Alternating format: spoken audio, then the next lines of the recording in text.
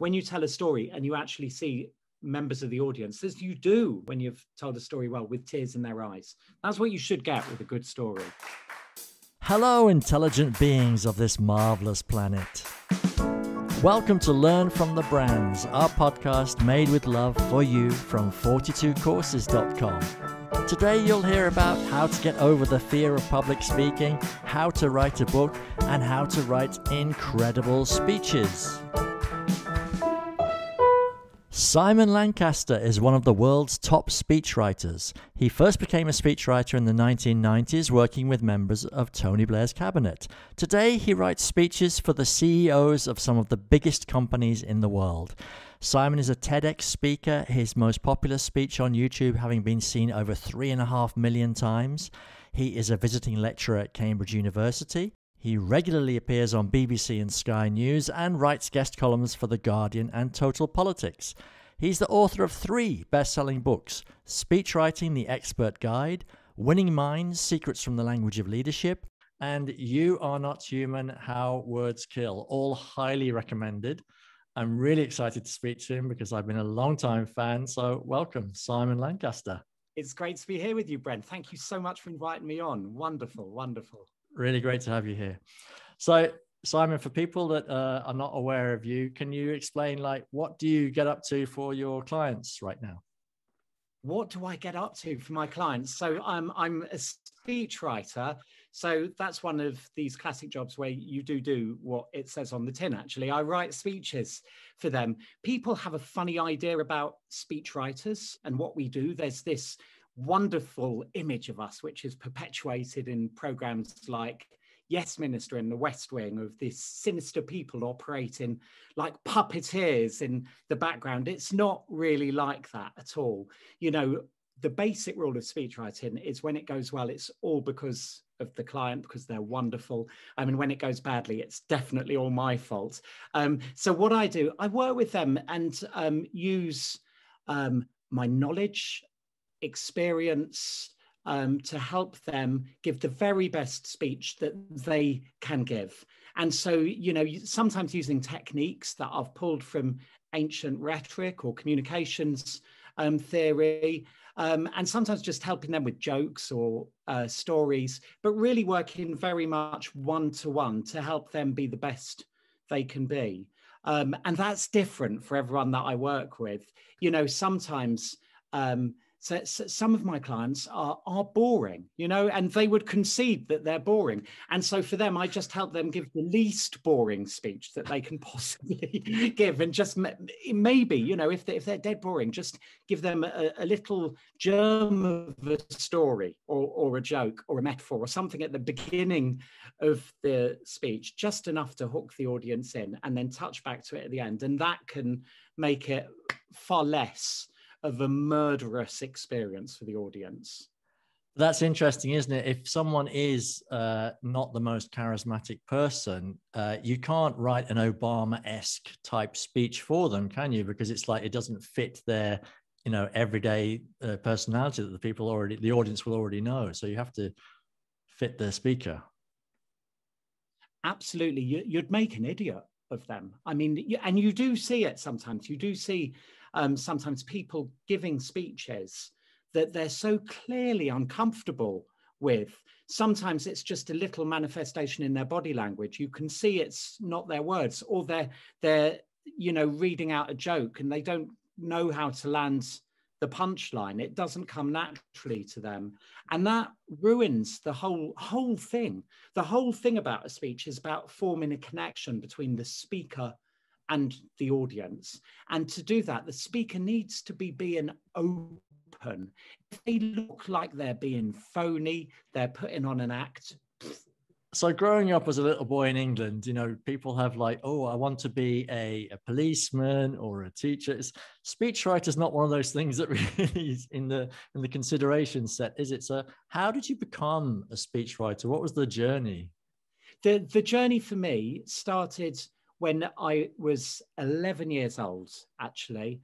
And I, I, remember being taught by my music teacher, Bernie Newman, at school. And he taught me the basic one, four, five chords. And from that moment on, I actually wanted to be a songwriter. I desperately wanted to be a songwriter. All the time when I was at school, I was writing songs. And then when I left school, my very first job was playing piano in a restaurant just off Leicester Square, a French restaurant called Chaise Solange. You know, playing in a restaurant, I'll, I'll slip in some of my own tunes in the evening and they're going to discover me, give me a huge publishing contract or whatever.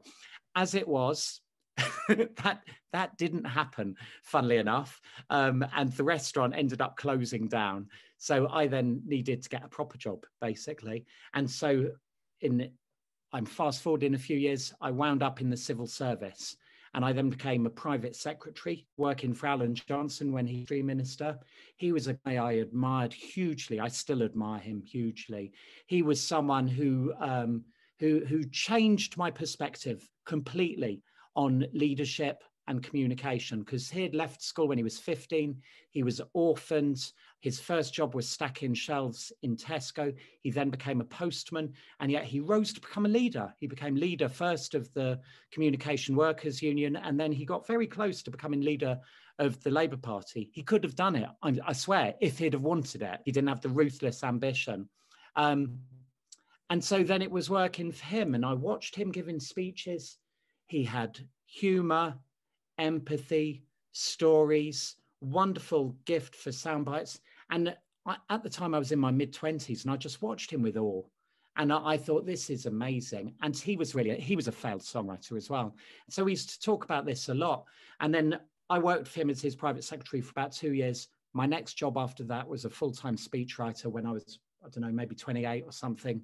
Um, and I've I've not looked back. It's been my it's been my only job ever since. I couldn't do anything else now. I couldn't do a real job. but um, you, you, spoke about uh, rhetoric just a moment ago, and uh, so you, you, you jumped from job to job, but you must have done some self learning, and and in, in all the books actually. You, you speak about you know Aristotle, Cicero, and the Greeks and everything. So, how did you pick that information up? Yeah, so I, I like Alan Johnson, and like I guess you know the the um, the the great guy we were talking about earlier, but uh, behind 42 courses, you know, all of us had disastrous experiences of education, actually, of formal education. So I ducked out of the education system when I was 16 years old. When I say I ducked out, I, I was kicked out of school. I had a big boot up my ass. I was expelled when I was 16 years old um, from by by the teacher um, who actually he'd say he said I, I was going to fail all of my A levels. I just needed to get out. I've still got all of the my old school reports as well as letters to my mum saying he's not working hard enough. He's going to fail all of his A levels. And I was like, I then laboured under this. And in fact, I left left school. I thought I swear I can I can pass these A levels. So I took them and I did pass them both. I ended up getting a B um, in English and an E in music. I got an E in music. So I did it without even having the, the set tapes. Um, and it was only later when I, I became speechwriter at the Department for Education and I started understanding far more about who succeeds in education, who succeeds in the education system and why they succeed. And I grew up in a very poor background. I was brought up by a single mum on benefits in a council flat in London.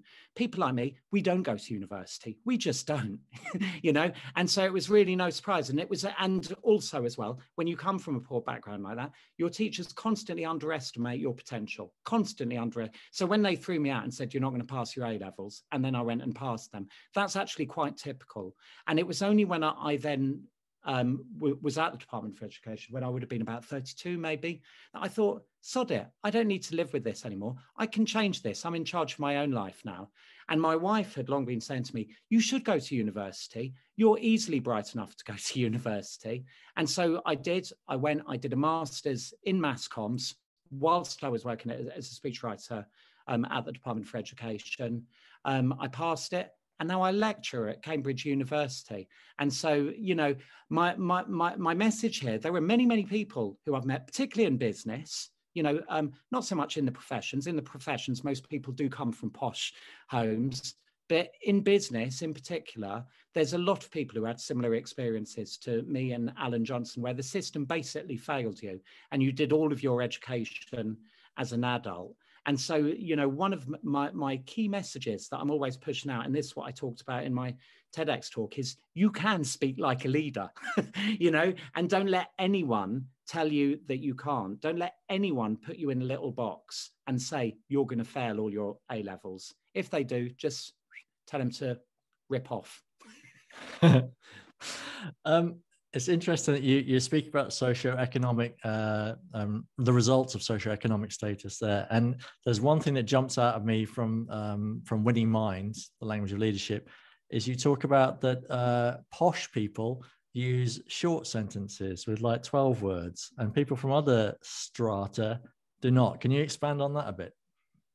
Yeah, I mean, it was just, it was something random that popped out of some research I did into senior politicians, the language of senior politicians.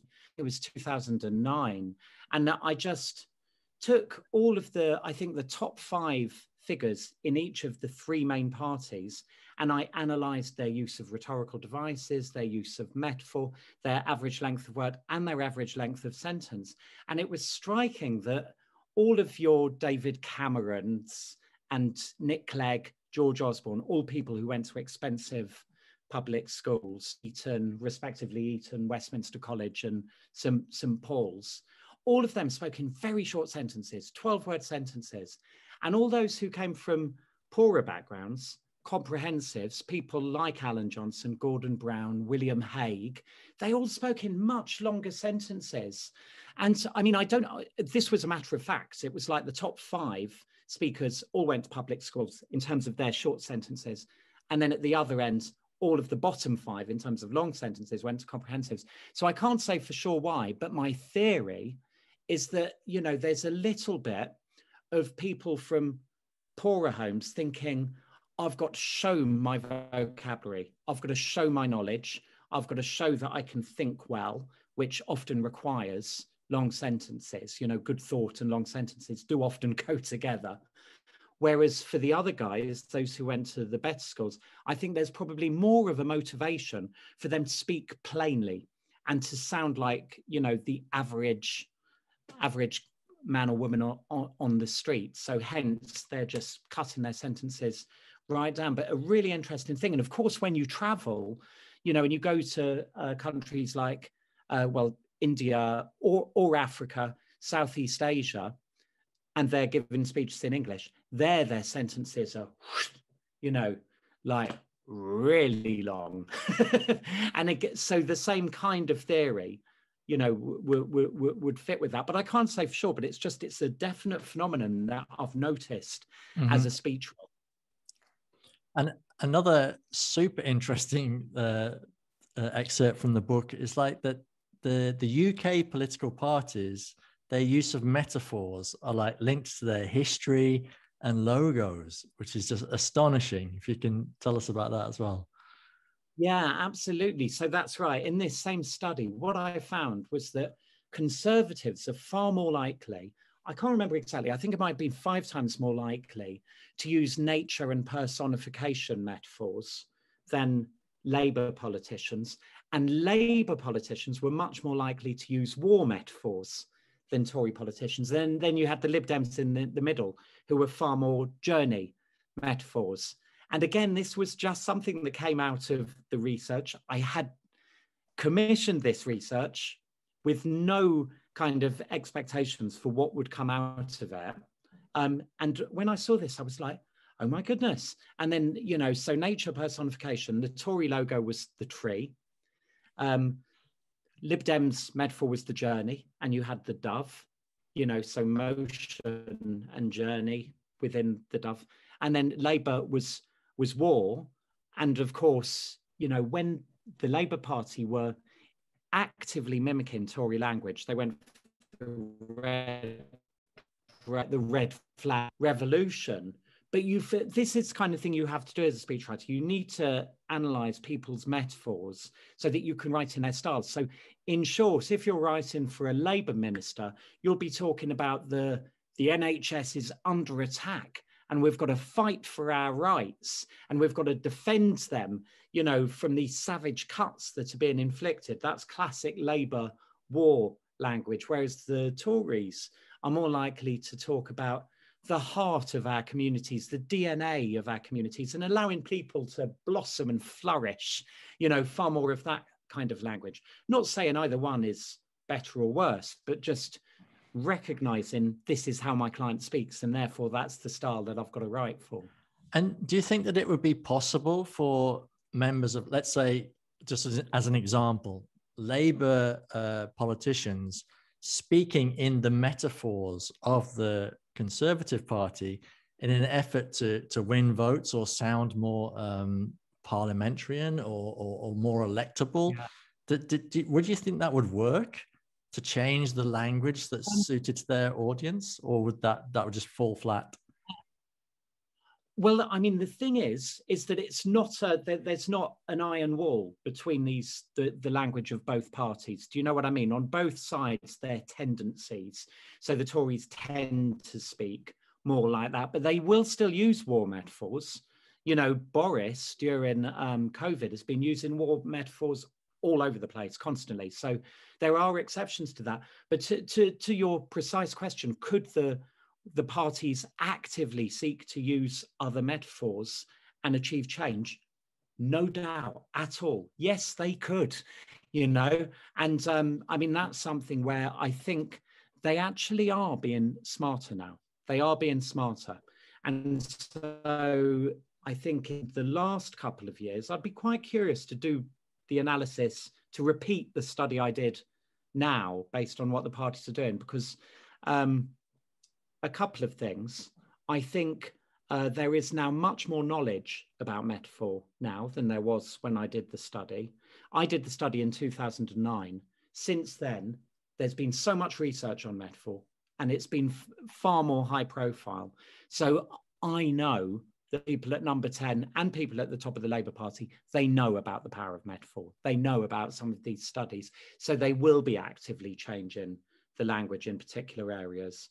But I think there are areas like, you know, um, Keir Starmer is very clearly using the liberal Democrat language about journeys at the moment. So he's talking about we're climbing a mountain.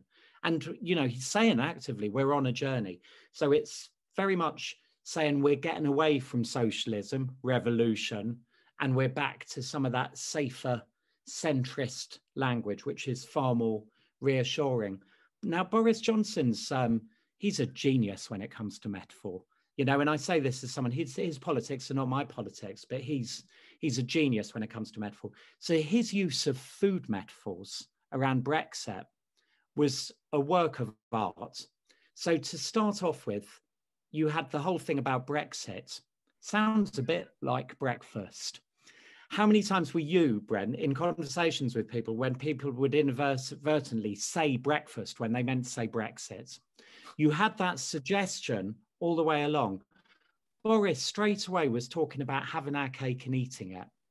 If you do, uh, do you remember when he did that? Yeah, yeah. And so this then led, and everyone was then talking about cake. Even his opponents were talking about bre- cake. Brexit then became cake to the extent that we now actually have in the English dictionary the words cakeism and cakeist to talk about thinking, you know, you can have everything in a negotiation on Europe. So he made Brexit food. It speaks to our instinctive brain. It says, be hungry, be greed, greedy, you know, come this way, come this way, we're giving you food. And then during the election campaign, we had all of the talk about oven ready deals. And through the whole election campaign, pretty much every day of the election campaign, Boris was pictured with food. He went either to a, a baker's, a patisserie, he went to a crisp factory, he delivered food to people's houses. He was shown putting a pie in an oven and all the time talking about our oven ready deal, you know? And so this is really powerful, subliminal communication. If you said to people, and I do say to people, what was Boris's metaphor on, on food? They wouldn't have a have a clue. That sorry, what was his metaphor on Brexit? They wouldn't have a clue most of the time. They wouldn't even be able to answer the question. But as soon as you say you remember the oven ready deal, you remember have our cake and eat it. These ideas were firmly, firmly landed. And indeed, one of my um, one of my gurus, Professor Jonathan Charteris Black, he's um, main man on metaphor, probably in the whole of Europe. um, and he's at University of West of England, and he did a count of all the articles about Brexit that mentioned cake. 1,283 articles wow. in a two-year period mentioned cake. And so all now for us, this is like linking together. You have Brexit, boring trade negotiation. You have cake, yum, yum, yum. You keep making the connection together this is like the biggest national hypnosis program we've ever seen. you know, I mean, it makes Paul McKenna's stuff look lightweight. You know, here you've got the prime minister and, the whole of the national media saying Brexit is, is a slice of cake or Brexit is a pie going in the oven, you know, and it makes us hungry then for that particular outcome. Yeah, and hunger is a you know a very um it's a good emotion. It's a, everyone can feel it, can't they? But do you think it it's in? Do you think that's intuitive from Boris, or is it because because when he was a the European correspondent for the Daily Telegraph. Uh, he was writing about you know they're going to stop us having our shaped bananas that we like. They're going to stop us having the prawn cocktail crisps. You know, yes. the, the most British thing ever. So yeah. do you think it's intuitive and he went from that or is it or was it, you know, it's thought out and this is the it's really thought out. I've known I've known five or six people who have written for Boris over the years. Nothing he says is by accident. It's all deliberate.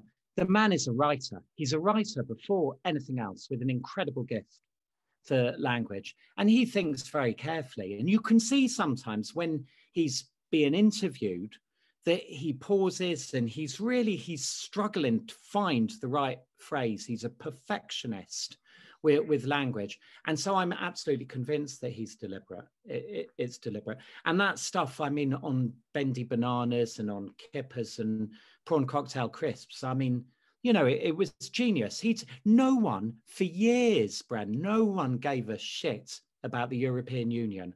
I remember going to weekly meetings at Downing Street about European communications, specifically about European communications. We used to get together, it was Monday afternoon, and we'd go through the grid, we'd talk about messages, and we'd look at the recent polls. Now, the problem year after year was no one gave a shit about Europe while the Prime Minister was trying to convince people of the benefits of, of, of Europe.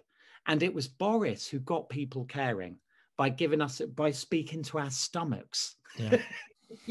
yeah. Genius. I, am really sorry. Having started, Brent, by talking about long sentences and people who use long sentences, I'm conscious now that some of my sentences are running into like the thousands of of words. Um, well, I, I, am delighted that you are speaking, and I'm not one of those podcasters who's going to talk all over you. I want to let you hear what you've got to say. Now, um, just going back to um, you know politicians and the possibility of changing their language, I just wanted to touch on something that was really, really emotional in in the book um, about changing the language for your daughter's insulin injections.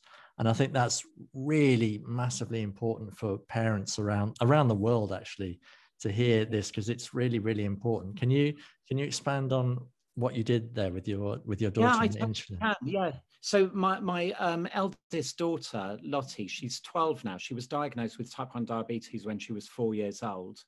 Um, and we we went to the hospital and uh, received the diagnosis. We we knew what it what it was that she had because my wife is a type 1 diabetic as well so as soon as um, she was exhibiting the symptoms like she was very, very thirsty. She kept needing to go to the loo. We were like, oh God, you know, we knew what it was.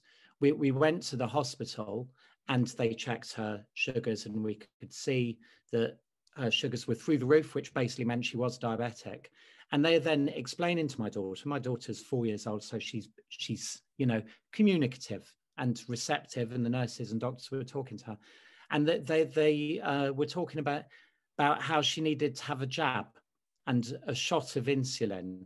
You know, in the language of jabs and, and shots is obviously the this kind of war imagery, which is prevalent in, in medicine. I was speechwriter at the Department for Health, and I've written a lot about health. And everyone talks about fighting disease, combating disease. Now, of course, we do get it in COVID. We're battling COVID, and a key weapon is uh, um, the vaccine. And um, this is it. It does come instinctively and intuitively. This kind of language, particularly to people who have been trained, people who have been to medical school, we all understand you fight disease, you battle disease. But of course, to someone who's just four years old and is just being introduced to this whole idea, it's not very good. And they gave her, I, I remember they gave her a, a, magazine which was prepared by the American Medical Association called What's Up with Ella, that had a little cartoon to explain to children what diabetes is. And it showed that when you eat anything with sugar or carbohydrate in, you have these nasty little green monsters in your bloodstream, aliens who are attacking you and who are threatening to attack your uh, kidneys and all of your um, vital organs. So what you need to do is then inject the insulin. And this is a superhero goes in with guns to shoot down the little green monsters. Now, for someone who's not got diabetes, like I, I didn't, seeing this cartoon was like, that's a really good explanation of what diabetes is actually and what you have to do, your responsibility um, to, to, to, to treat it. Um, However, of course, for a four year old child, to tell them they've got little green aliens like crawling around their bloodstream and you then need to shoot it, inject yourself with soldiers, shoot it down. Just like completely wrong. So we were like, we're not going to use this sort of language. We're not going to use this sort of language.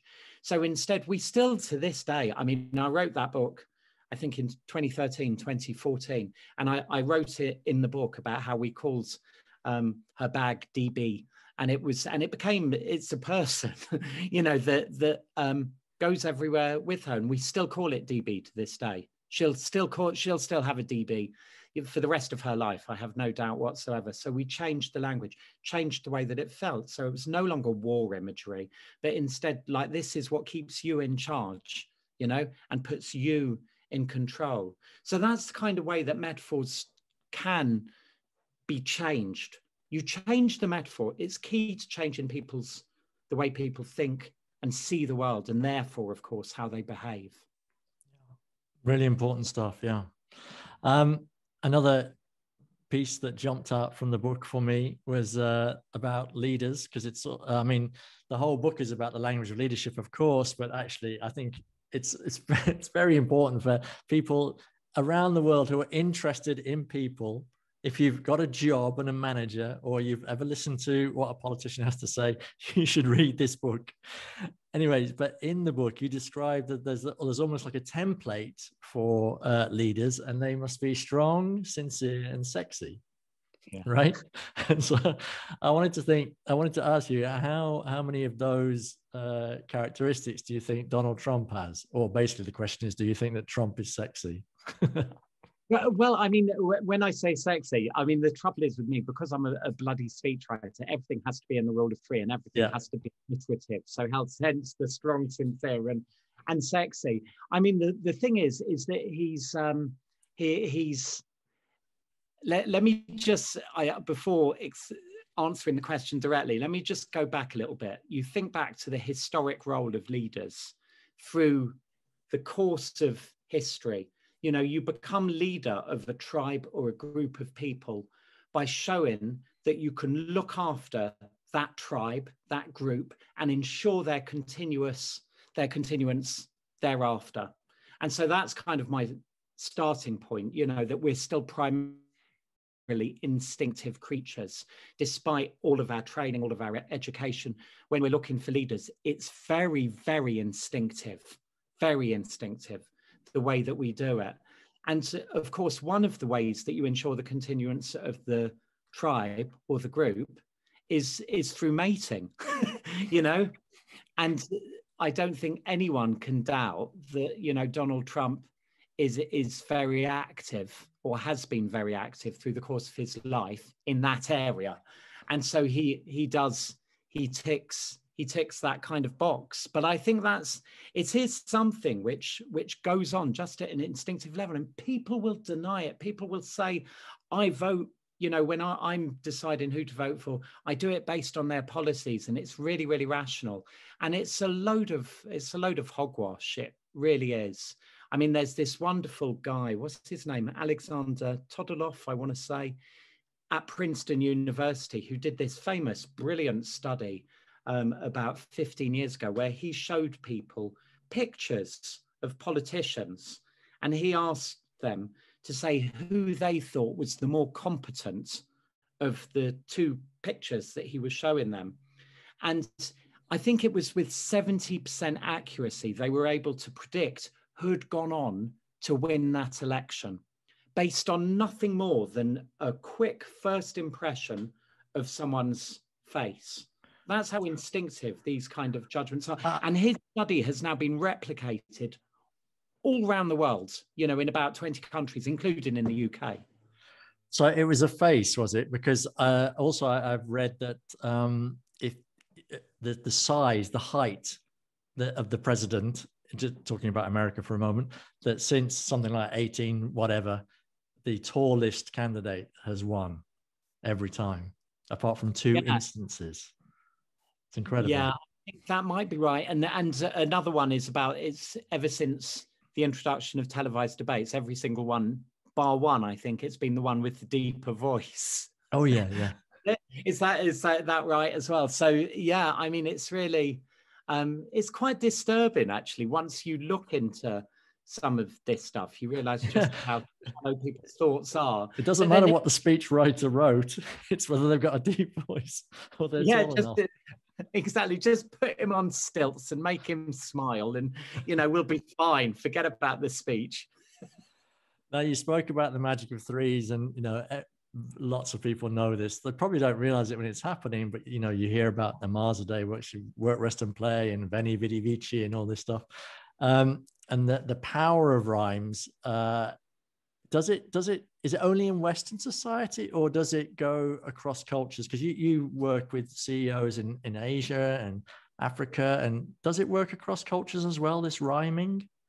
Totally yeah. So there's a, a wonderful study uh, that was done on the phrase you know red sky at night shepherd's delight. Yeah. Uh, and the study that was done on that showed that I think there's a variation on that rhyme in about 70 or 80 different wow. languages.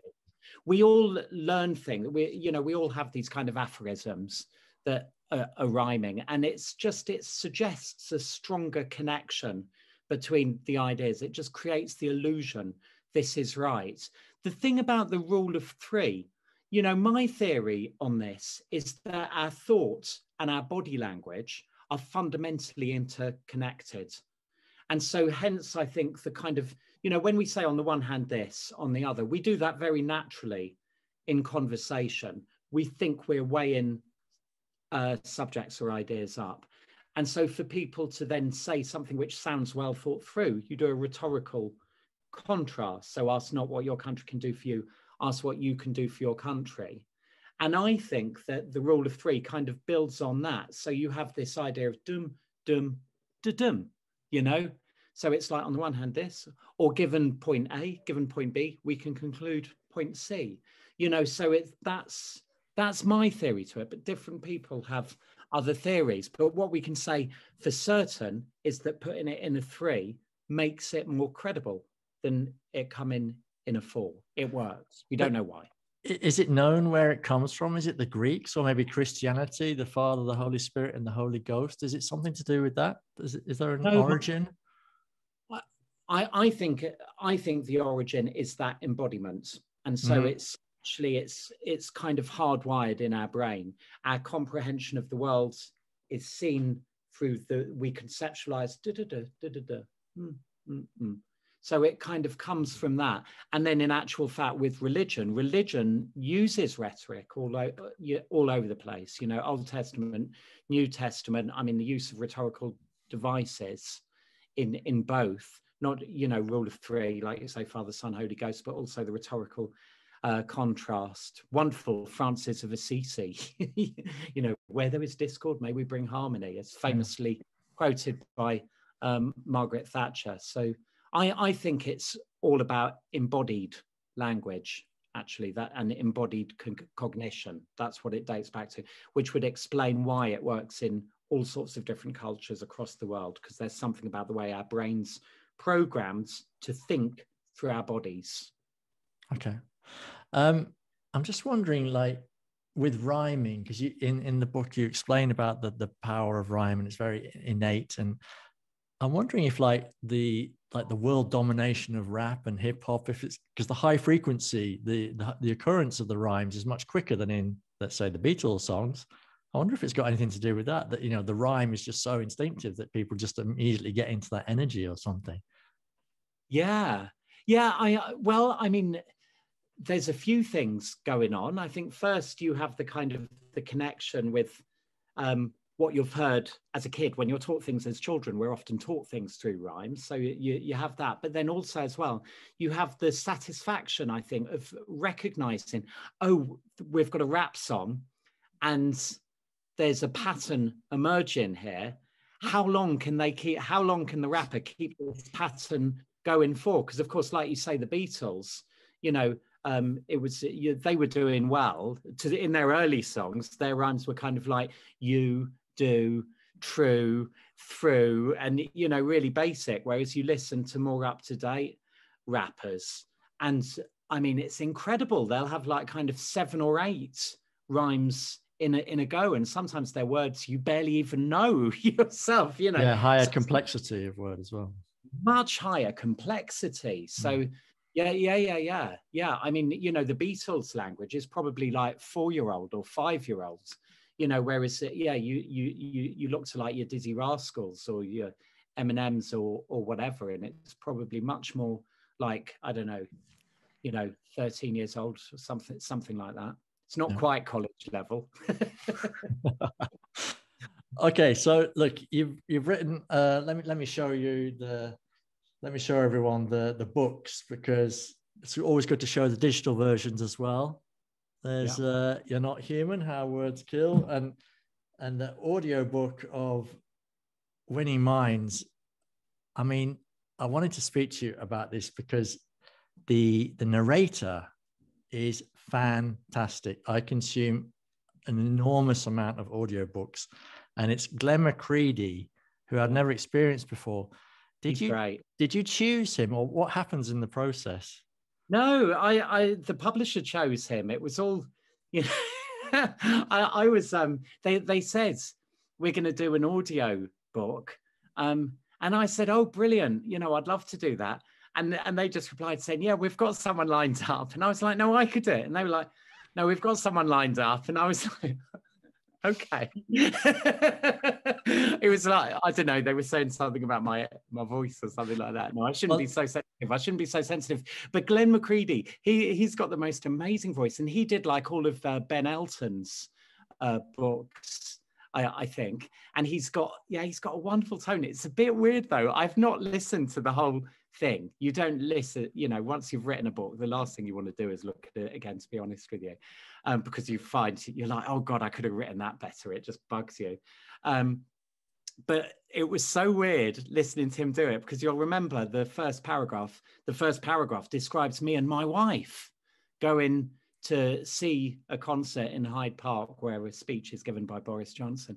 And that's how it starts. And so it starts off with this wonderful voice going, it was a hot summer's day, and me and my wife Lucy went, and it was like, there's another man talking about my wife. no, but he is really, really good because he he gives the emphasis, he gives the emotion, and not all narrators do that. I mean, normally when it's not the author who's narrating, I always think like, because mm, I feel there's something missing but he really really adds to it. So highly recommended you know if you're thinking oh audiobook uh it's not narrated by simon you know but he's really really good. But i wanted to speak about the process of book writing because so many people out there have you know dreams of getting down and writing a book. And um how long does it take you? How long? how what chunk of your life do you have to give to writing a book? It's um it's a slow process and a careful process and a considered process. It, you can't do it quickly. I think each of my books has taken probably about four years wow. from start from start to finish, and it takes a lot of time just to get the concept right, actually, and to think what's your what's your thing? How are you going to pitch this? So just to take Um, I've still got all of the, you know, somewhere on my computer, I've still got all of the early working drafts of all of my books. And you just see the way it, it evolves, that it starts off with this concept, then it bends to that concept, then that, you know, and then finally the publisher will say, we want this concept. And you're like, okay, that's what I'll write to then, you know. Um, so it it's really it's it's really slow, but you've just got to keep going with it. Now I I I, I will tend to do it in kind of short bursts. And so, and, and I'll do it during my work is very seasonal. Speech writing work is very seasonal. Basically, all of the big speeches in the year are given between September and March. And so then the rest of the year, you, you'll get the odd thing come in, speeches to employees, stuff like that. But the conference season is September to March. And so I, will do little on my books between then. It's something that keeps me buzzing over during those, um, you know, during the summer months, basically, where I'll do a lot of reading, a lot of reading. Each book that I've written has probably um, taken about 250 books that I've read wow. to then to then produce you know? And so all the time i'm kind of considering the issue and just getting more stuff in. It's like that wonderful peggy noonan quote about reading is collecting wisdom and writing is spending it you know? Um but it's I, I enjoy it a lot. You know I, I i love writing books love it.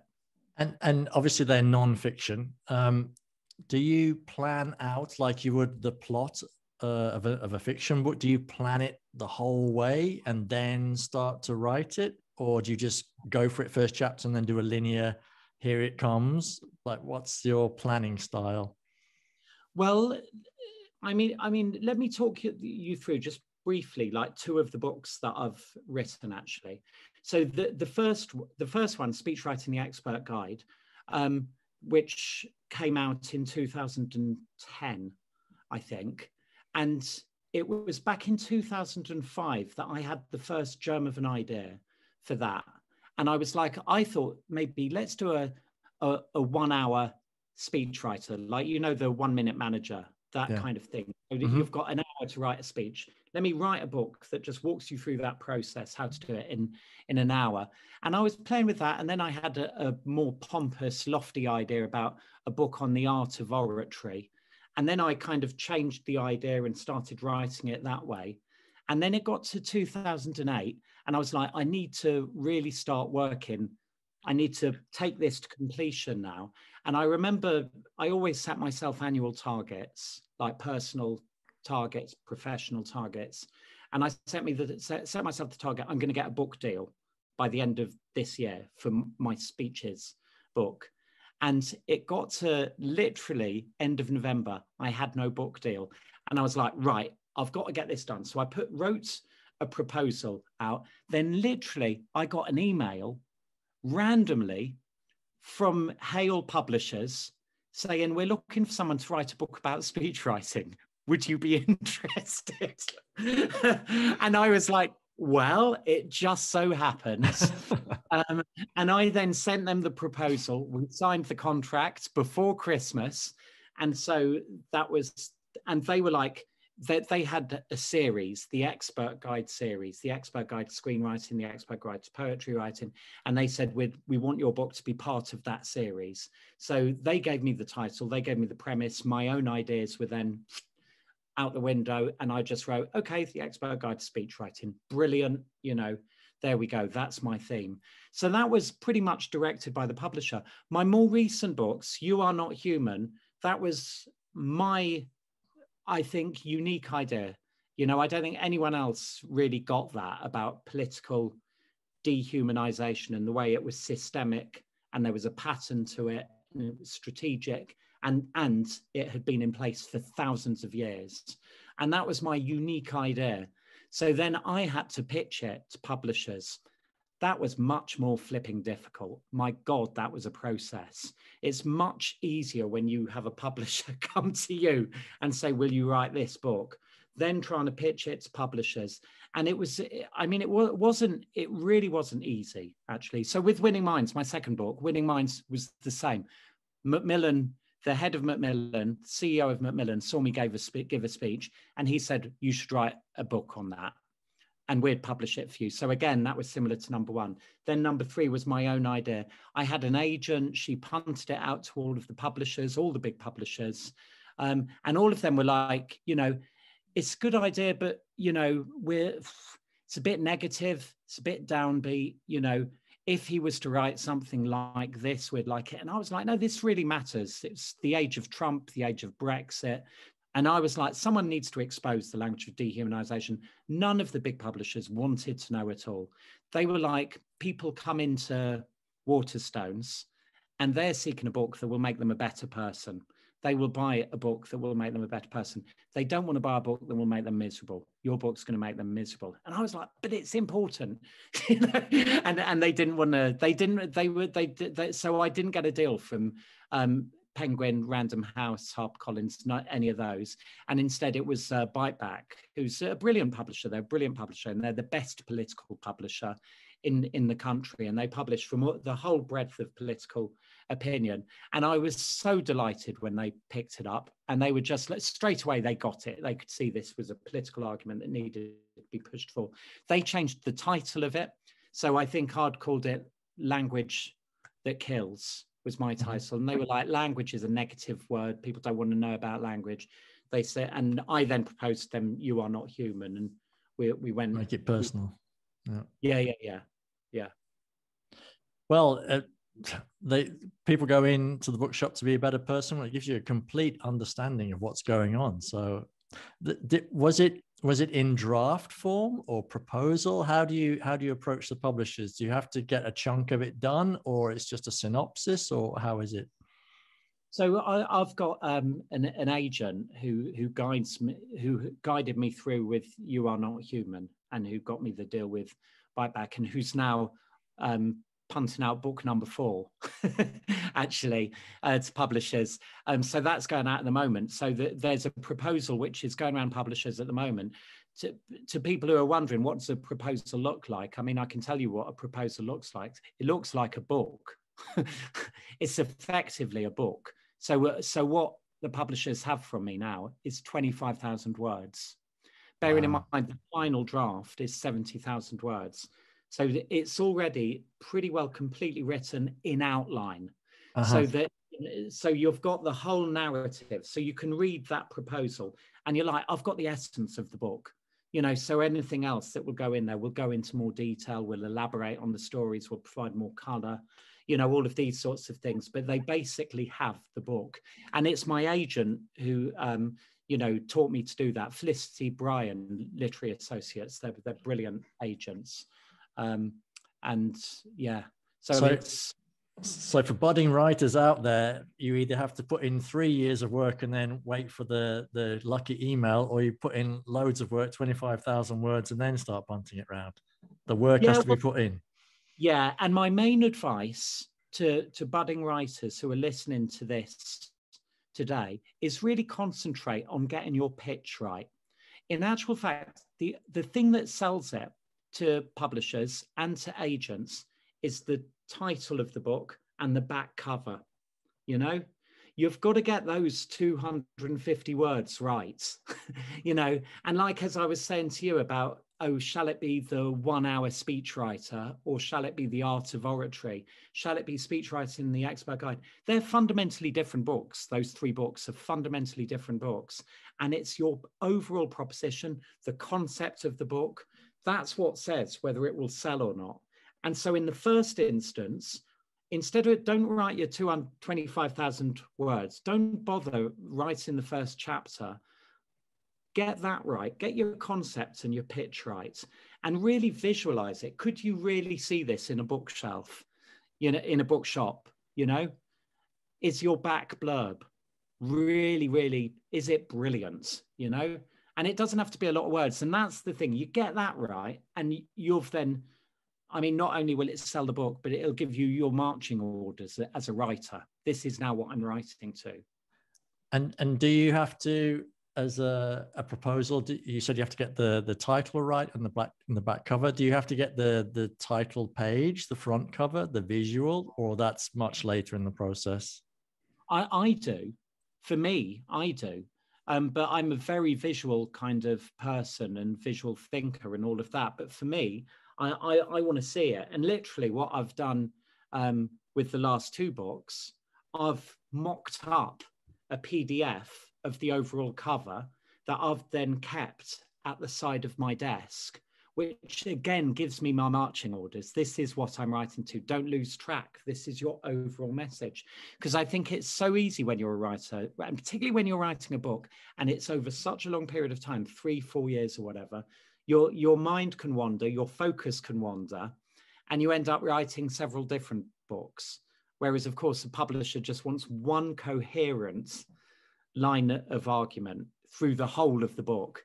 And so, like with, you know, the, the big non-fiction books like Nudge, Tipping Point, whatever. I mean, it's Nudge, it's Tipping Point. You know, they're the ideas of those, the rules of influence, you know, Cialdini. You know, the, the title tells you exactly what the contents of the book are, is, are, are going to be.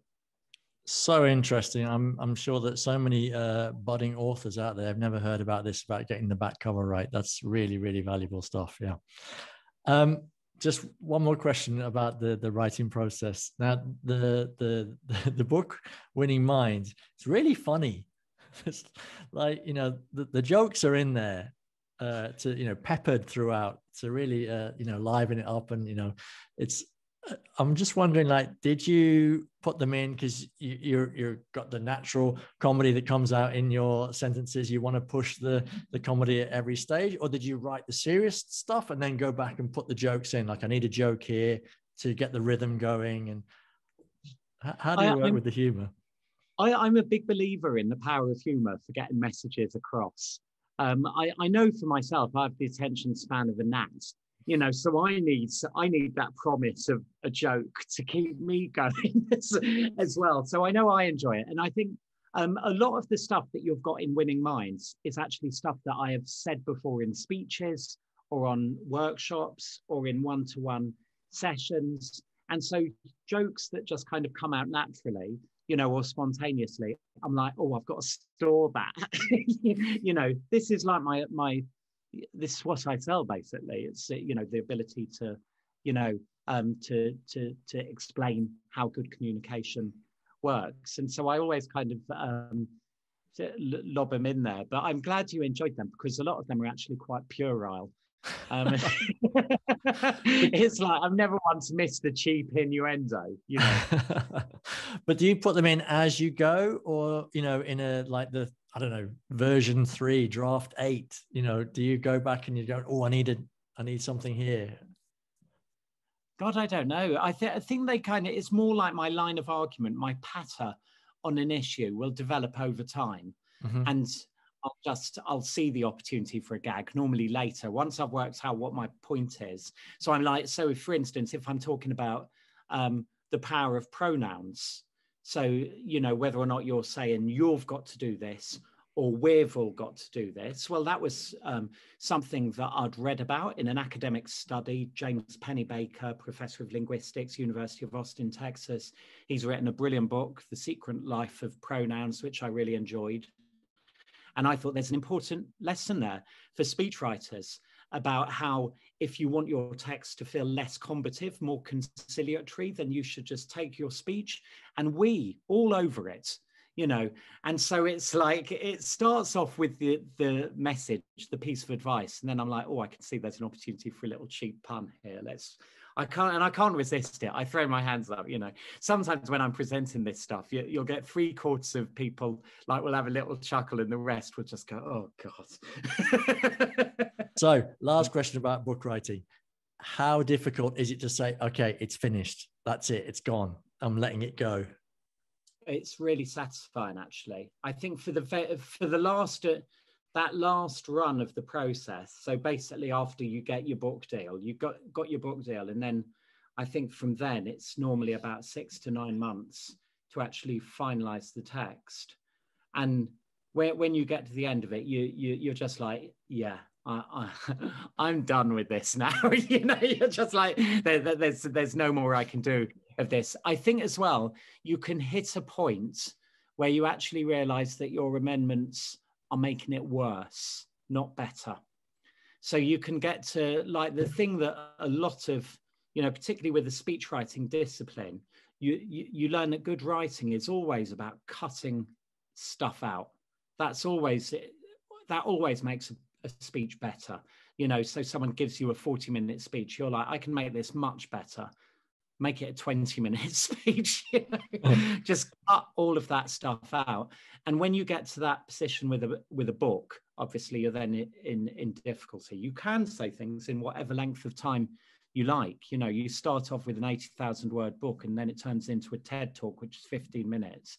And then you do something for TikTok which is like 57 seconds or or whatever. And it's the same kind of message but just to, to suit the reader. And a, a book you know it needs to be more considered. You need to you know not be like kind of you know banging the reader over the head but rather instead like walking them on a bit of a journey and being a bit more nuanced and being like well on the one hand this on the other hand that and maybe maybe and just kind of like planting thoughts in the reader's mind and letting them draw their own conclusions being far more kind of accommodating i think to the reader's own impressions than you are in a speech where i think in a speech you can with charisma energy pace you can just whiz people along a lot more quickly and be a lot more forceful i think. Okay. Um, let, us move on to speech writing your super expertise. So um, i just wanted to delve in by saying like what do you think of the old business adage that i've heard I, I was in corporate for quite a while and i heard this many times with about a speech. Tell the audience tell them what you're going to tell them then tell them then tell them what you just told them. What do you think of that approach yeah, well, I think that is like you know, but um, stamp on your audience's head, and then tell tell, tell them your audience, tell your audience you're going to stamp on their head, then stamp on their head, and then tell them their head's just been um, stamped on. It's not it's not the best. It's really not the best advice. I, I think you know rather instead good communication. Where, whether it's a presentation or a speech or a book or a film or, or whatever, will take people on a bit of a journey. You start in one place, you end in another. So you start with a problem you wind up with a solution. You start in the past and you end up in the future. You start with fear, you end up with hope, you know, and it's far more doing that kind of, uh, that sort of journey, I think, is pleasing for audiences. And and for the for the people listening, there's some very useful content that you've got on YouTube and even TikTok now on the ways to start a speech. So check out Simon on those channels. Um, now, when you accept a job, maybe with a new person that you haven't worked with before, what is the first step that you go through? Well, um, yeah, I mean, it, it depends. It depends what they're looking for, really. If they're looking for long term support, or if they're just looking for a one off, they have one speech that's coming up, up which they, they want to do. If they're looking for long term support, then generally I'll, I'll go and meet them. And pre COVID, now we'll do it over Zoom. You know, we'll just have a chat and just feel the the chemistry, you know. Um, and I've got to feel it too, you know there have been a couple of people that I've met that I've just been like, oh, I'm not quite feeling the magic here, you know, and and then I've just sent a polite, you know, in actual fact, looking at my schedule for the next few months, I'm a little bit busy, um, and now I've I've not I've not gone ahead with it. But if it's someone um, if it's someone who just wants a one-off speech, then what I will do with them, I have a kind of a really quick fire speech writing service that I will offer, which is what most of my clients want actually. They just want to get that first draft that's been professionally produced and then they want to own it. And it's great they do want to own it. They must own it. They're the ones that have got to deliver it. Their career lasts on it. So, what I will generally do when I'm working with clients, I will meet with them first thing in the morning, 7 a.m., 8 a.m. However early they want to start is how early I will start. And then we'll have a briefing meeting. And I have all of these super questions that I, I ask to get the very best out of them, just to get right to the core of their soul, you know, which I, I will do really very quickly. You know, it's got to be very, very efficient because for these people, time is not just money, time is a lot of money. You know, you're CEO of a big company, your time is like 250 grand um, an hour by one calculation, you know. So you've got to be really, really efficient about. But, but is that random stuff? Like, you know, what was the last thing you listened to on Spotify? If you're trying to get to the soul of the person. Sometimes there's a bit of just the kind of serendipitous, like just let's just wander around and see what falls out. But I have my systematic questions that mm-hmm. I'll ask as well. You know, so like who would come to your dream dinner party? This takes people like, you know, five, six minutes to do. And the answers you get to that, I'm like, I'm really beginning to know you now. Mm-hmm. You know, when were the times of your life when you felt warmest? And when were the times when you felt most cold? You know, using the metaphor to kind of suggest happiness, unhappiness, distance, you know, and then you'll get some good stories out from them. You know, so I have a few different questions that I'll I'll work through. But we did so we do that first thing in the morning then they'll check in with me. I'll, I'll, I'll, so I'll spend an hour with them, maybe 90 minutes. And then on the, we'll agree a concept for the speech, an outline structure that we'll just talk back and forth. So I'll pitch the idea to them, then they'll pitch it back to me, kind of go back and forth until we feel we've got something good. Um, and then I'll get writing. They'll then check in with me, normally around about 11, 11.30. I'll ask them any questions I have to ask. They'll give me some early feedback on how the draft is shaping up. And then we'll be all done by lunchtime, you know, and I'll get them a draft, which they're then happy with. Lunchtime can sometimes stretch to two or even 2.30 hence my, my my coming on late today but you know generally that that's the way that will work and that works best for me you know, because then I can just immerse myself in their worlds. Writing a speech really does require that you pretend you're them, you're the client for a set period of time. So, you know, I can't carry that around all of the time, you know? So, you know, like, give me four weeks to write your speech. That's not going to work for me because then I'm, I'm, I will, because the kind of person I am, I'll have that like knot in my stomach for four weeks. Whereas for me, just like, right, I'll, I'll, work for you for five hours, six hours. I'll give you my absolute all, and I guarantee you will have a draft of your speech at the end of it. It won't be perfect, and you'll want to make changes to it. But that that for my clients is a is is a really great deal, and they, they love it actually. Sometimes they come back to me afterwards and say, "Would you just have another look at it? You know, I've changed it around a little bit. Would you now now?" Absolutely you know um but that yeah that as a working model that works really really well. And as i said i've worked in corporate and um, i was actually making um, uh, I, did, I, did, various things but uh, i remember doing some uh, powerpoints for the ceo and the the problem is there's too much that they want to say and put in and it gets longer and longer and longer and longer. Is that the case generally with people who are wanting to make a speech that they've got way too much stuff that they want to say and it's more about editing down? Yeah i mean uh, powerpoint's a flipping nightmare. I mean it really is a nightmare. It's a nightmare for the person producing it. It's a nightmare for people who are listening to it. And i, I think here what you've got to sometimes not often but sometimes i do work with people who are doing powerpoint presentations and i need to help them like you know um, spruce it up. I have literally just been working on one, literally just been working on one. And, and there, the trouble with PowerPoint is it pushes you to mixed metaphors. The software is actually, you know, designed to push you towards mixed metaphors so you don't have that clarity of idea. One second it'll show you a seed being planted. The next second it will show you a journey, and the next second it will show you. you do you know what I mean? And it's yeah. like audience isn't getting anything straight. So one of the things that I will do when I'm working with a client who's doing a PowerPoint is I'll say, you know, okay, we need a clear message running through this, a clear metaphorical image running through this, and so let's go with motion.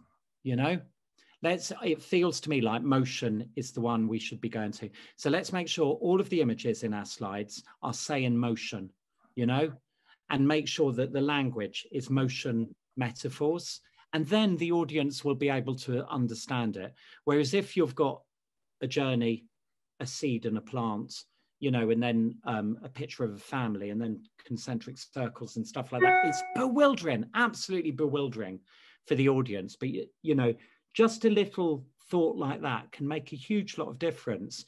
But one of the things I think, and I, am sure you'll have found this in corporate life as well, is sometimes with PowerPoint, the purpose of it is actually to give people something that they can then refer to afterwards. So that if it's like the quarterly results or whatever, analysts will want to go away and go through them in slow time. So you you have to cater for that, but also you need to cater for the just the the feel at the time. And for that, that's kind of more where I will offer my expertise just on how, on first impressions of language, is this coherent? What are the messages you're landing here? This is back to Boris, isn't it? With his uh, food metaphor with Brexit, it was not only on message, it was on metaphor that yeah. the, the string went throughout. Um, and do you find that when you've done when you've created a speech that you know uh, maybe a CEO passes it through his leadership team, perhaps, and then it comes back, as you say in Winning Minds, you say like the HR guys into cars, so that the, the car metaphor gets thrown in. And does it ever come back to you? And, and, like what you wrote has been mauled and mangled, and there's like loads of different metaphors, and you have to go back to the beginning. Is it difficult? No, no, um, no, not no. I mean, CEOs are so powerful you know, I mean, it's much harder, I think, being a government minister. When if you're a secretary of state or even a prime minister and you want to say stuff, you've got a million people who have every right and power to veto you saying that. Whereas when you're a CEO, you're master pretty much of all you purvey you know, and CEOs can get away with a lot more. It's trickier. Where it's tricky is actually where I've helped out writing for board members like CTO, CFO, all of these kind of guys, head of HR, they're the ones where it's more tricky because then the CEO may have ideas about what they're saying, or their fellow board members might want to, you know, that's trickier. That's then much trickier. But CEOs can, you know, in my experience, they've got a lot of power, and and they'll they they normally like um, what I do because my whole approach is basically what do you want to say? I'll help you say it.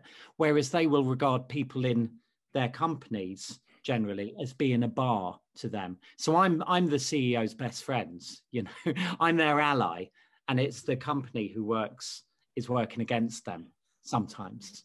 So, so what would you say is like the maximum number of points that you should try to get across in a speech? Because people, are, you often hear people saying that you should only try and do three things, but I think in the book you said that maximum is seven. Or so, what what would be your advice to people who are giving an important speech about the number of uh, things that they can say that their audience will retain?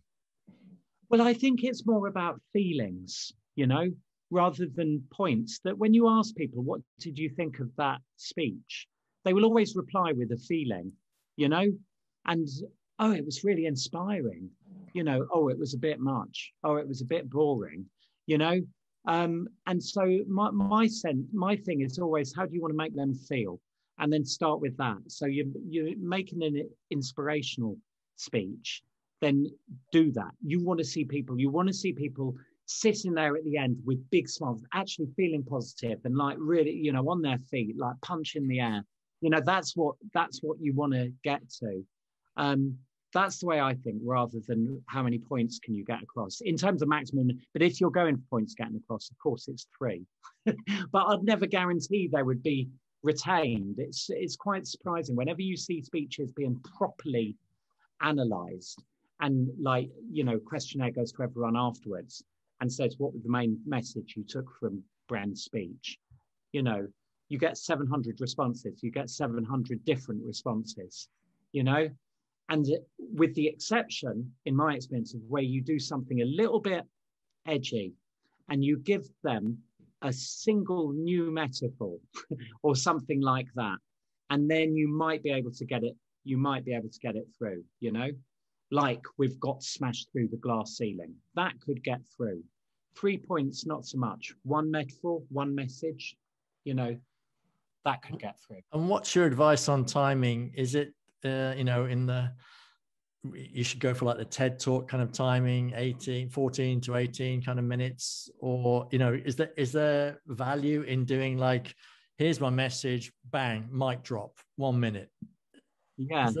I, I mean, it's different strokes for different folk, I think, isn't it? And it's we we like receiving information in different ways, don't we? So sometimes you do just want a wham bam thank you ma'am you know and and so so that tiktok you know the little tiktok video that i did which is like is one minute six techniques to speak like a leader.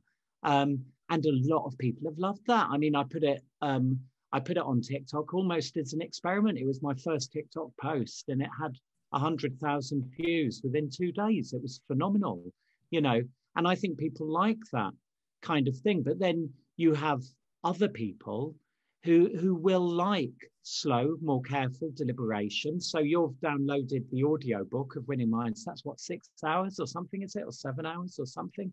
Yeah. You know, so that's a few different car journeys, isn't it? Where you've got it all, whatever, where you've got it on in the background.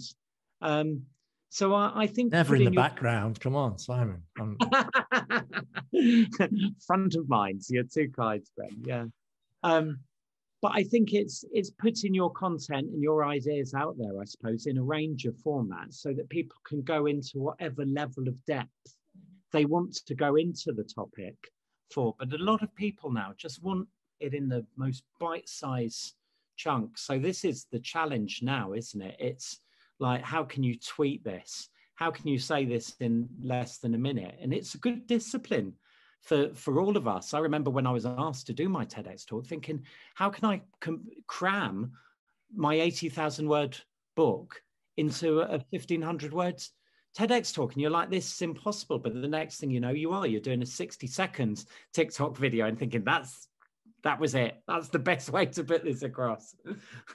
and in your opinion, are the best speeches are they the ones that are created by a wordsmith like yourself, but then the speech giver goes from that plan and then maybe goes off piste for a moment and really speaks passionately about something is that the the feelings that you're talking about is is that when the the real magic happens well they've got to own it i mean they have absolutely got to own it they've got to they've got to be speaking from their heart and soul where they deliver it so the range of exercises that i do with them you know is is to get them doing that kind of you know, really speaking from their heart and soul. So you really get the essence of who they are. So I'll get that from them, hopefully, in a early morning session.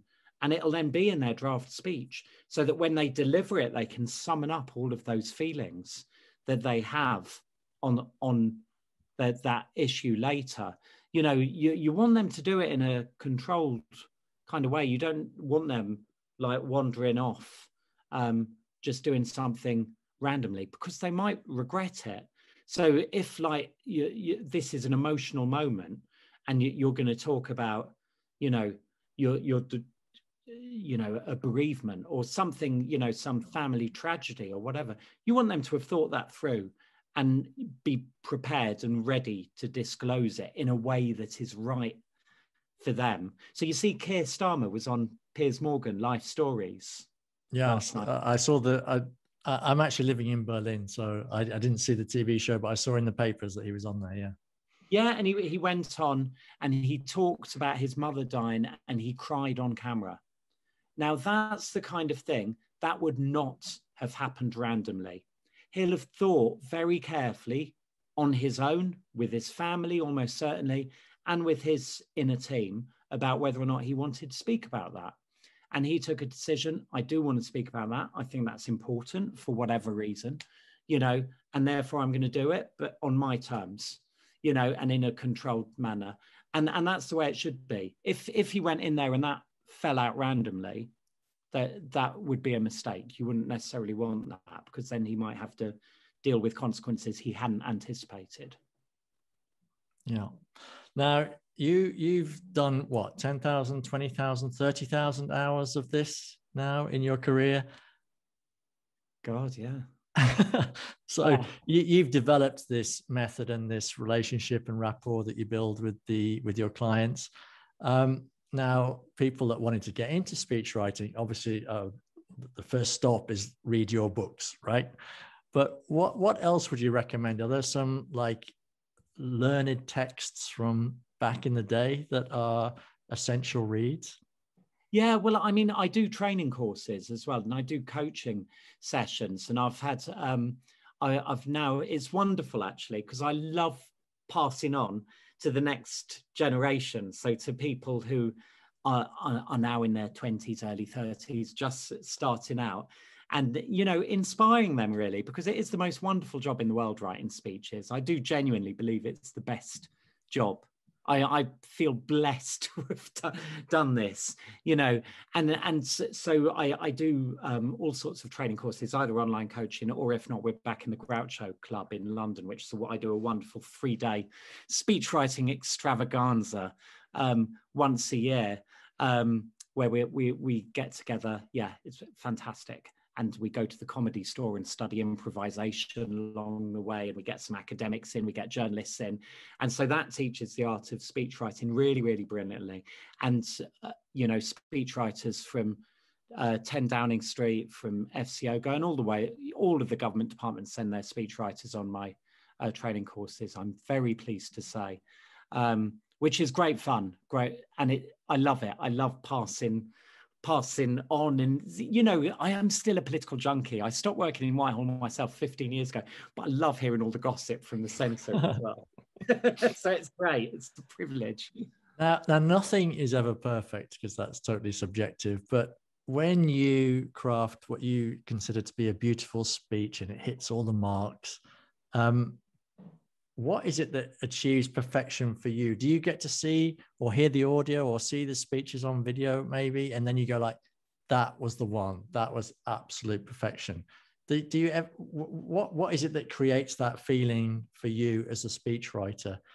Is it that the words came out as you crafted them or was it that plus the delivery? Or what is it that creates that amazing feeling for you? For me like you say it's subjective and so I never count my own opinion. Actually, my my thing is is watching the audience. That's uh-huh. where I get my thrill. You know, but by the time the speech is actually being delivered, and I do always go and see my clients deliver their speeches whenever I can.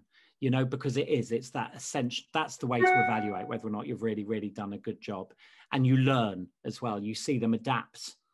You know, a sentence like mid mid flow, and you're like, oh, that that hurts when you see them do that. You're like, oh, I, I could have done that one better. You know, that was a that was a fail, but black mark there. But the, you know, it comes with watching the audience. That's what I love. When you tell a story and you actually see members of the audience, as you do when you've told a story well, with tears in their eyes. That's what you should get with a good story. When you, you you've got a gag, and the audience are, are actually splitting their sides, or you've put in there some kind of you know, activity, something, some random thing where you've got everyone up and then, you know, and and it works. That's that for me is the real, yeah, you know, and uh, you can track on Twitter now, of course, as well. When the speech is being delivered, you can see, you know, say certain lines being quoted, and you're like, yeah. So that's the way I evaluate. It's the audience response that that counts far more than my impression or listening to the speaker. It's the audience effect. That's what it's all about for me. Nice. And um, you, you, spoke about tears in the eyes. Uh, what's the greatest speech from a movie that you've ever heard? The most motivating? Or... I'm straight there. Rocky Balboa. Yeah. Do you know the one I'm talking about? Rocky Six, Balboa. Yeah, yeah, yeah. Bal- do you, you and you know the one I'm yeah. talking about? I remember. It's not how were... hard you get hit, it's about how hard you can get hit and keep moving forward. Come on, that I that has is putting tears in my eyes just um, thinking of that quote. Actually, that is absolutely that is. Um, but that that's got to be Stallone has written that himself because he wrote the original Rocky all himself. But I'm I'm think he went back to like being the absolute the sole scriptwriter for that one for the sixth one. I, is that right? I, I, am a big Stallone fan. It kind of upsets me because when people slag him off, because he is seen as being like kind of thick and Rambo and all of that sort of stuff. He, I mean, Rocky One is a work of art. That's like the ultimate indie art movie. It's absolutely. Yeah. It was made for less than a million dollars, I think, wasn't it? It's, you know, yeah. And yeah, he insisted they wanted to cast someone else, but he insisted. It's quite dark in places, like Saturday Night Fever as well. Dark movie, but yeah. Oh, people remember, that's another great. People remember the set pieces. My, my other favorite movie speech is The Wolf of Wall Street. You know where he's uh, Leonardo DiCaprio is addressing all of the traders. Yeah. That that is a great one for use of rhetorical devices. So throughout that speech, he uses rhymes, he uses the rule of three, uses repetition, has metaphor. Um, that's that's my second greatest. Yeah. Okay, let's start wrapping up by going to your TED talk. I mean, you've done three TEDx talks now, no? That's it, yeah. But um, let's let's speak about uh, how to how to speak like a leader, hmm. which has got like three gazillion views, I think now. um, so when you did that TED talk as a speech writer, rather than a speech giver. How long did it take you to prepare for that? Was it like writing a book? no, I mean, I got pretty well thrown into it actually. So it was my um, good friend, the lovely Caroline Goyder. I don't know whether you've come across Caroline. She'd be a great interviewee for you actually look her up after after this she's she's she did a, a, a huge tedx talk at brixton uh, which has had millions of views. She's written great books on gravitas. She's a body language expert. And TEDx Verona had asked her to speak. And I think she was either pregnant or had just had a baby. And so she said at the time, so she said, I can't do it, but ask Simon, he'd be good. Um, and so I got the invite with like about, I think about four weeks' notice. And so I didn't have an awful lot of notice, but I'd wanted to do a TEDx talk for ages and I was just like, oh wow, this is my big, big, big opportunity. You know, I've always wanted to do it, and so it was very, very exciting. Such a thrill. You know, I've watched and enjoyed all the TED talks and TEDx talks uh, for years, and it it was it was wonderful. But it was a big, big step for me because up until that time, you know, apart from doing the odd lecture at universities, I wasn't really a um, a keynote speaker. I wasn't being marketed as a keynote speaker. I did that TEDx talk instantly the feedback from the room was incredible. You know, I mean, I was being treated like a rock star afterwards. It was so like such a head spin. It was like amazing. And on the back, as soon as it went on YouTube, I remember seeing it go up. And I think on the first day it had a thousand views. And I was like, oh, this is going well. And then within a week it had 10,000 views. And I was like, blimey, within a month it had 100,000 views. And then it was a million within a year. And it was, and on the back of that, I got invites to speak everywhere around the world, literally everywhere around the world.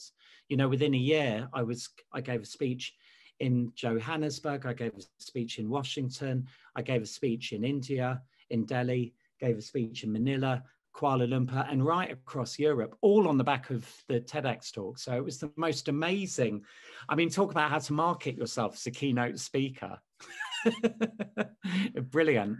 So have you turned into a TEDx like rock star? You know, you have the eyeliner, the makeup, and then you have all the brown M and M's taken out of the tray.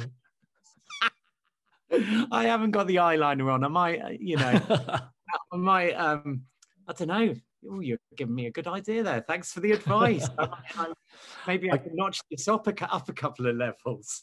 Okay, but this this is this is interesting for people who would like, you know, I want to do a TEDx talk. Um, how did you practice? Did you have moments?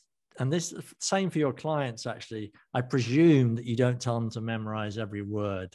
So how did you approach that? Did you have moment? There's not an auto cue that you see, is there? No, there's not. It's all memorized. So I, I, do do encourage my clients to memorize the text if they possibly can. Ah, okay. I think it makes it so much better. It really then looks like you're speaking from the heart. If you've got an auto cue, that's fine. You can do that. But TEDx don't allow that unless you're Sheryl Sandberg or whatever, in which case they'll do whatever you want. Uh, but for most ordinary human beings, they, they will insist you you memorize it. So the way that I did that, um, I, I walked and said it. So it was the old Roman system yeah. of remembering things by place through your you house. Know? And so not yeah, not through my house though. I did it um, well, I'm in the Brecon Beacons here, and there's a beautiful uh, country hotel just over the valley from where I am. Um, and I, me and my wife went for a walk around the grounds, and I, I said the text to her whilst we were going about, and then that locked it in my head, and I can still remember. And so then, whenever I was working through the text, I could kind of see, oh, we're now walking down towards the river, and we're walking past that stone, and now I'm walking up a little bit. There's that tree on the right, and all of the sentences had attached to places along the journey, meaning it was remembered. So as I was standing on that stage in Verona, I was I was actually visualizing having a walk around a Welsh country garden. Um, and that's the way that works for me with with with memory. I think you do just have to keep reading it over and over again as well, so that so that your muscle memory kicks in. You know, so go on. That that so that method this well-known method of like the, the romans going through the house or the palace or whatever and, and attaching a moment to each room and everything it probably doesn't work for everybody right for your clients what what are the other kind of methods that people can use to uh, keep keep the progression through the speech you can do it um, you, you can do it through through your body as well it's another place so, like, you can work around the parts of your body. I know some people who have done that. So, the, the start of the speech might be that finger, and then they work their way up. So, again, it's the same principle. You're connecting parts of the speech, and you're now right. I'm on the shoulder. That means it's this point, and so on, like that. Otherwise, a good old fashioned way to do it is just take one sheet of paper and kind of draw it out with lots of different colors, different size, you know, writing and stuff like that relating to the importance of the point you're making, like a mind map, but with a lot more colors and sometimes little pictures on it. And that can work as well, because then again, they're kind of visually then working around whatever it is that they've drawn. That can work quite nicely. Um, does it when you do the re- re- repeated practice, like a musician that you hmm. are, mm. uh, is it difficult to time it right to know that you've practiced it to the point of almost perfection or you've gone past that point? I'm thinking also in my head that I've seen, you know, Dave Gilmour from Pink Floyd saying that he always took the first recording of the solo, trying to replicate it on the third or fourth. It's never there, the same emotion. I think Slash from Guns N' Roses. I've heard him say the same as well. So, is there any, you know, to say it the first time is going to have more emotion? You're, not. That's not what you're saying to your clients at all. You're you're you're going. It must be practiced.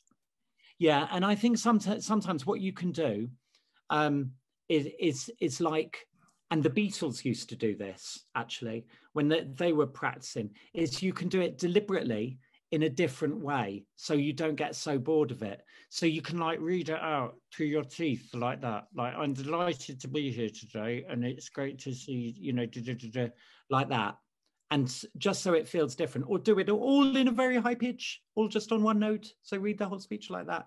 And then when you're on so restrict yourself in some kind of way so that then when you're on stage and you're free to vary you know your volume and your tone and all of that you feel really excited and liberated and you know or do it very strictly like that. So um that might work. I don't, I don't know whether you've seen the wonderful image of lennon and mccartney when they're rehearsing two of us on the let it be album and they're singing through their teeth.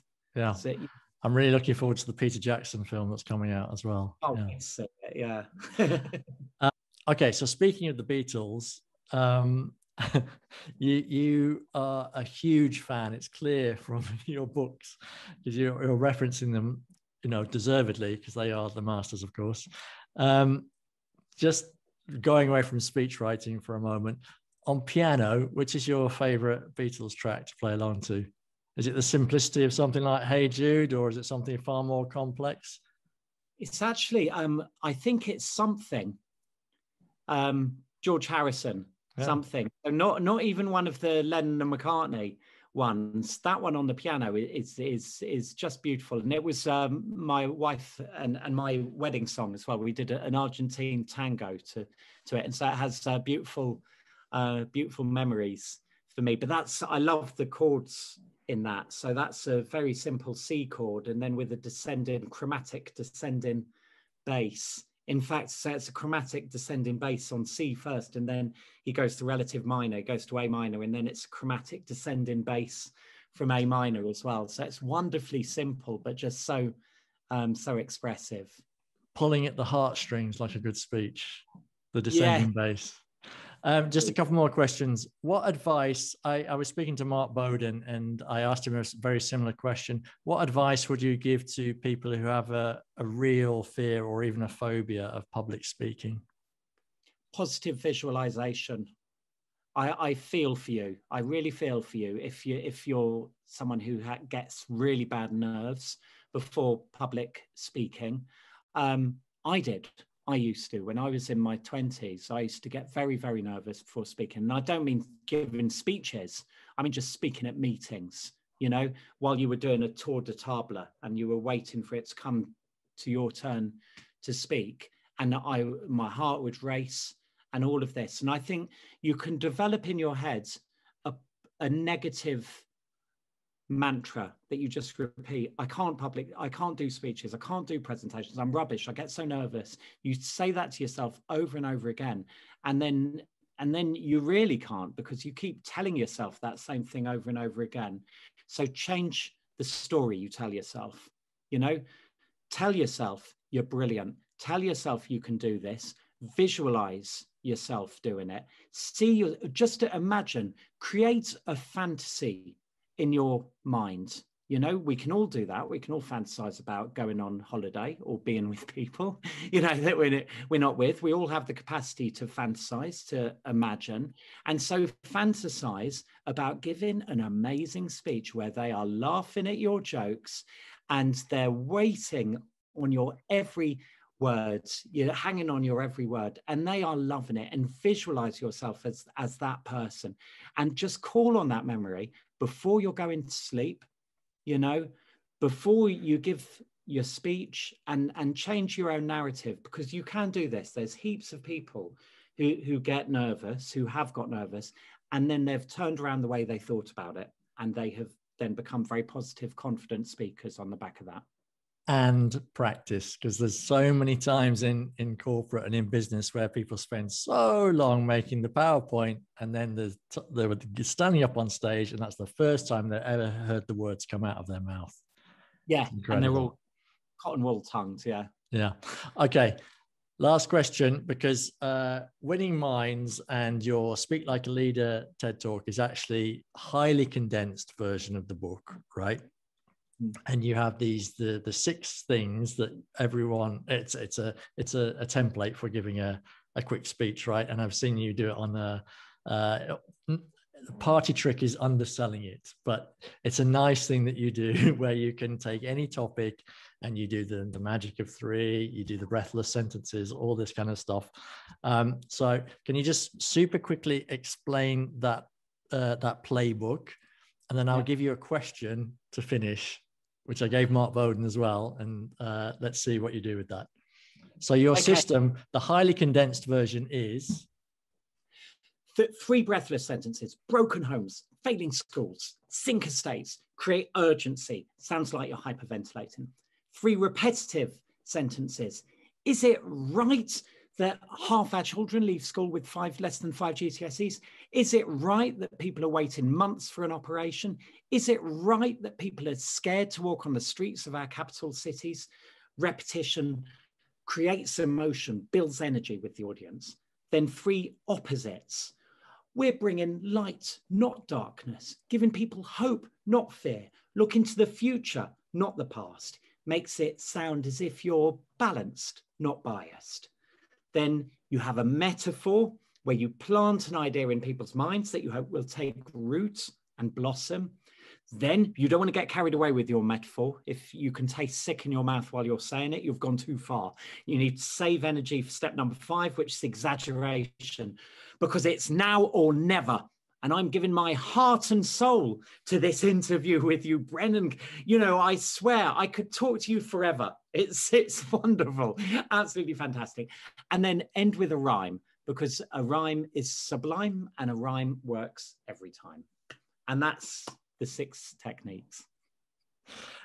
And so the question using this method, it's a bit harder than I've seen you had in the past, but the question is would you rather, you have to fight between two options.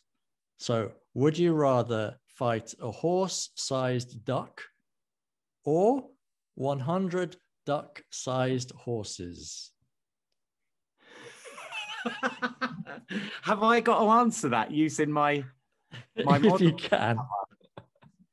Right. Okay. Okay. Okay. Courage, determination, strength.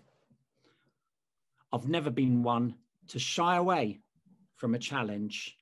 I've never been one to show fear in the face of a great adversary. I have never been one to take the easy option in life. I think there's something for all of us that we must look for the challenges in life, not the things which are easy, showing our best and best, better selves rather than our weak and timid selves, and accepting great opportunities rather than turning them down. And for me, there would be no greater opportunity for me to stand taller as a human being than to engage in the ultimate combat of our times. Now, here you have suggested to me the mightiest combat that makes David and Goliath look like something for children. And I would not want to fight lots of little things whatsoever. For me, the only solution that I could come up with is to fight the horse sized duck.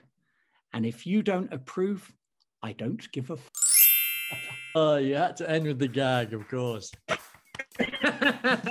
well done. That's a lot more difficult question than I've seen you do it with before. So that's really, really good. Thank you so much. And yeah, people, if you want to learn how to do this kind of stuff, then check out Simon on YouTube, on TikTok. Check out his three books. I'll put links to them in the description. It's been an absolute pleasure, Simon. Fantastic talk, talking to you. Thank you so much. I've really enjoyed it, Brent, and that is the most surreal question I have ever been asked in an interview before. Thank you so much.